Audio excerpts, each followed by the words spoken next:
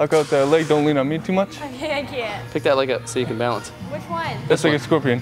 No, not arabesque. Oh. Scorpion. What's a scorpion? The bent leg, whatever the fuck it is. Don't lean on me so much. okay, come down.